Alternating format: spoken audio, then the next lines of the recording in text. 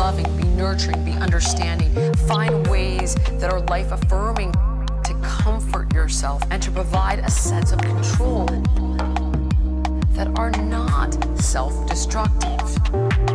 There should always be a look towards the future. You're always growing and evolving and progressing.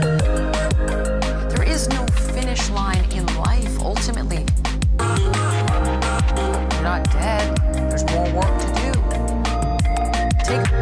Hard,